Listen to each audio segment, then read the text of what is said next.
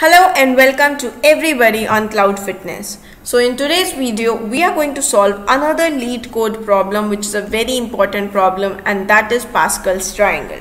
So let's move on to the LeetCode and see exactly how we can solve this particular problem. But yes, before moving on to this uh, particular question, do remember to like, share and subscribe to my channel.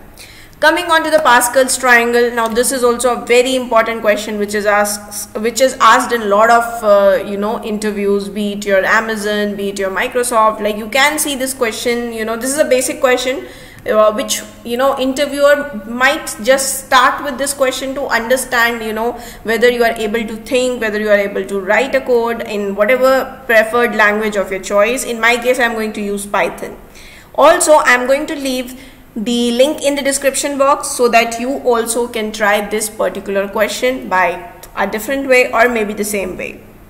Now coming exactly to a Pascal triangle, you need to understand first what exactly a Pascal triangle is, right? So basically in Pascal triangle, each number is a sum of two numbers directly above it, right? So for example, if you look at this animation that is going on right? If you see at the top you have 1 right? Now directly above this row of 1 right? You have no element over here on the left hand side but you have 1 over here right? So then 0 plus 1 will be equal to 1 similarly here also 1 plus 0 is equal to 1. Now when you come down here uh, on the left hand side you have 1 because on the left hand side of the above row you have 0 right 0 plus 1 equal to 1 but here 1 plus 1 is equal to 2. So every element is actually the sum of above two elements. So this is how your Pascal triangle is. In case you did not understand hold on to this video or open this particular link and try to see the animation you will understand it very clearly what exactly it is. So ideally in a pascal triangle what happens is the left hand side and the right hand side will always be one element will always be one and in the middle the element will be the sum of above two elements always right? That is essentially your pascal's triangle now here in this particular uh, question what you need to do is you might be given the number of rows right as an input. So if I give you the number of input rows as 5 right as per this animation first row, second row, third row, fourth row and fifth row it has 5 rows right. Now the moment someone gives your code or input as 5 it should you know show you the the code should actually show the Pascal triangle in this format which is list format right? You have this list and inside that list you have another set of list and each list actually represent the Pascal triangle. So for example one over here is the first row right? And then one one over here is actually the second row. Let me zoom it as well now you can see the 1 1 is actually the second row. Similarly you have 1 2 1 which is the third row. 1 3 3 1 which is the fourth row. And 1 4 6 4 1 which is the fifth row. So this is how you know you need to take in the input and this is the expected output right? So this is you know i'm choosing python over here and you can see there is a function which takes a number of rows as an input and gives you list of lists as an output which is nothing but a Pascal triangle. And even to explain it bit better I'll simply open the excel sheet over here. In fact let me open it side by side. This will be more helpful here. Here you go so essentially, if you look at this particular Excel, right, it is also for the number of rows 5. Now whatever you are seeing over here, right, the number of rows are actually 5 over here and this is how a Pascal triangle is formed. So the first element is 1, then your second element second row is 1 1 then your third row is 1 2 1 then your you know fourth row is 1 3 3 1 i mean the third row uh, basically 1 2 3 4 and 5 so this this one is for the sixth. Let me just remove it. I think then it will be more clear. So essentially this is for the five rows. When the number of input rows is 5 right? This is how your pascal triangle is actually going to look like. And it is same as what you are seeing in the animation as well on the left hand side right? Now first element is 1 right and the subsequent element if you see here 1 1 in the animation right? On the top it is 0 1 and from the left it is 0 and on the right side of 1 is also 0 so 0 plus 1 1 1 plus 0 1 so basically the typical formation of a Pascal triangle. And then if you see this particular 2 over here right? Now above this 2 you have 1 and 1 right? So 1 plus 1 2 that is how you got 2 similarly if you see here 3 how you got this 3 1 plus 2 you got 3 over here. Similarly how you got 3 in this particular row? 2 plus 1 3 when you talk about this one how you got this one? 1 plus 0 1 right? Similarly coming on to this 4 how you got this 4 1 plus 3 4 how you got this 6 3 plus 3 6 how you got this 4? 3 plus 1, 4 right? So this is how your pascal triangle is actually built. And remember in case you do not understand this hold on. Just pause this video open this particular LeetCode i'll leave the link in the description box. Just open it and just try to understand how pascal triangle is actually formed. That is the very basic step to solve this question. Now moving ahead. If you see what I can do is I can do some kind of matrix indexing right? So this becomes a matrix right? A 2d matrix. It becomes a 2d matrix. Now if you see on the left hand side I have indexed it starting from 0 0 1 2 3 4 right? And similarly at the top as well I have done some indexing right? 0 1 2 3 4 right? I've just done some indexing. I call this these rows as uh, you know 0 1 2 3 which is representing the rows. I call it as I and the ones which are representing the columns I call it as J right? So any element which is at 0 and 0 is 1 right? Any element where now you have to actually see you know you have to understand this before moving on to the coding part. The very first thing that you need to see over here is whenever j is equal to 0 because this is j right? This is all j. J1 j2 j3 j4 right? Now whenever j is 0 your element is 1 right? So you can actually say when j is equal to equal to 0 then in that case your element is 1 right? And then the other observation is whenever your i and j are equal right? Whenever you know you have one as i and one as j then you have one as the uh, element. Similarly if you see 2 comma 2 right? 2 comma 2 is basically uh, the row index is 2 and the j is also 2 over here. So that is also 1 so you can actually say that when j is equal to equal to i right? Then also your uh, data point will be 1 right? Then also you are getting the point as 1 okay so we are very clear with this part. Let me just highlight it with some uh, color. So with this green part we actually know that we have already satisfied we know the condition now right? When j will be equal to 0 and when j will be equal to i in both these cases my data point will be 1 right? My data point will be 1 and now I have to check how I should fill in these parts. 2 3 3 4 6 4 right now in this case it is again very simple. Now you can see I have already written the answer over here right? Now this 2 I already told you what is this 2 this 2 is the sum of above two elements just above it. If you see here in the animation this 2 right in between it is sum of 1 and 1 right? So when you talk about this 2 let me just highlight this 2 once. Uh, let me highlight it with okay I need some color. Let me highlight it with red color as of now. Oh okay let me choose red. Okay so when we talk about this two uh, two point right? Now here i is 2 right? What we can say we have to go one row above. We actually have to go here right to sum these.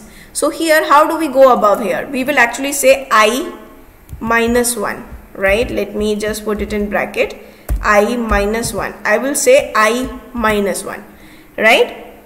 Now j also minus 1 if you look at here i when when i say 2 right i have to go here i want to do a sum of this one I have to first fetch this one. Now what is this one? This one is i minus 1 and j minus 1, right? Because my current j is this j. But I am going to take this element, so my j will become j minus 1. Let me just write in j minus 1 right? And then coming on to this. I have got this element. Now coming on to this element. What is this element? This element is j element. Right?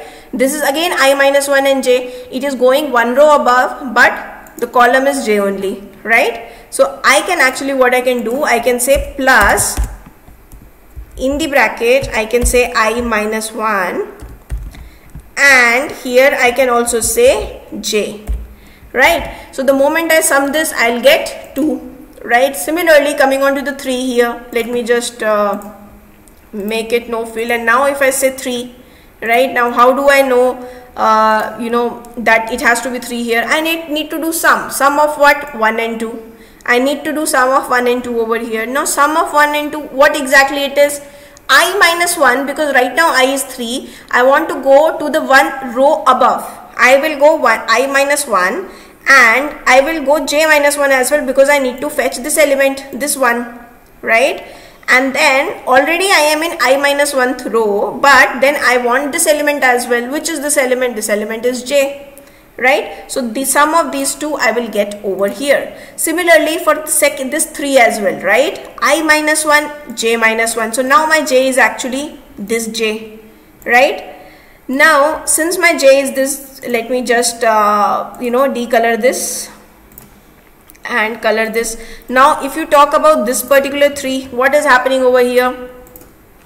I, I need to do sum of these two elements right? 2 and 1 I will go i minus 1 I am in the top row right? This is my current j. Now to fetch the 2 I will say j minus 1 and then to fetch the 1 I will say i minus 1 and j so that is how I will get the 3 over here. So this is how actually you need to understand these three things to create the, you know, to solve this particular problem. So let me, you know, uh, the same thing we actually need to do in form of code over here and the output has to be a list, right? Now when the output is actually a list, what you need to do, you need to first declare a list because see, you can have output as a list only when you declare a list first right? So let's declare a list and then what we will do? We need i and j right?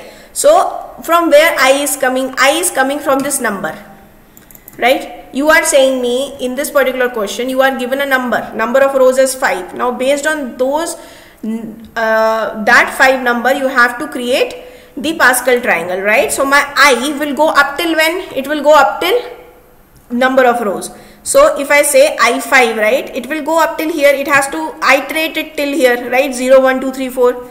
So let's say for I in range, range of what? Range of number of rows. Number of rows is what? Is our input. So my I will go from where? 0, 1, 2, 3, 4. This is how my I will go, right? Now if you see output, output is not just a list right? Output is a list of list.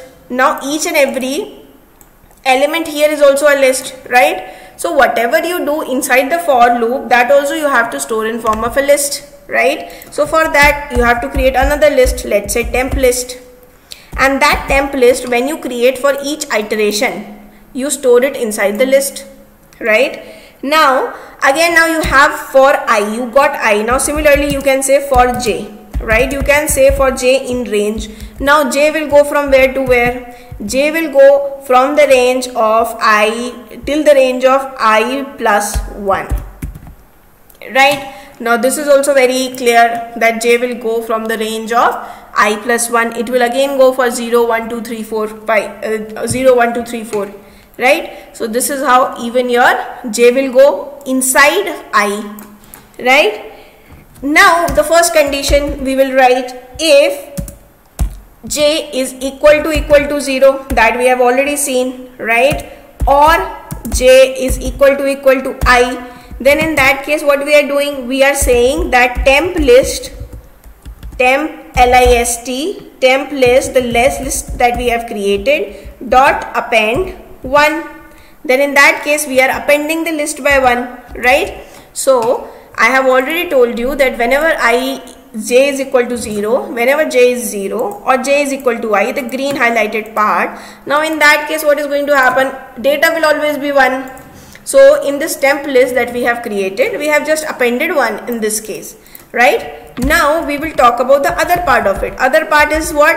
Other part is actually these 2, 3, 3, 4, 6, 4, right? This is our second condition, right? now in that case what we will do? What we will do? We will say temp list. We are going to again append it to temp list right? Now what we are going to append right? What we are going to append. We need to understand this right? We are going to say what we are going to say? That we want i minus 1 we want to go one above i minus 1 and then we want to have j minus 1s and we want to add it. We want to add it to what? We want to add it to the above two elements right? So the above two elements i have already explained. It will be i minus 1 j minus 1 plus i minus 1 and j. This is how you are going to append it right? Now let's say list 1 as well here because these are the elements that you are going to append to. Now essentially uh, let's come out of this for loop. Right now once you have this temp you have this temp list created now here we are actually appending everything to the temp list to this particular temporary list. Now this temporary list is nothing but these these lists right? 1 1 1 1 2 1 1 3 3 1 these are the temp list. Now all these elements of the temp list what i actually want to do? I actually want to append my temp list right? List 1 I, I actually want to append my temp list to the list 1 itself right? So let's say temp list uh, list 1 dot append that whatever is there in my temp list just append it to the list 1 and then you can say return me the list 1 right? Let me just run this particular code. So essentially this is how you actually do this particular solution of Pascal triangle. If you have any question do let me know in the comment section and let me just submit it as well. So essentially you can do it in numerous ways but this is i feel this is the you know most uh, you know very basic understandable way to do it and do let me know in the comment section if you have any issues because the other question that I'm going to put after this video that will also be related to the Pascal triangle only right? So thank you so much guys for being till here. And do remember to like share and subscribe to my channel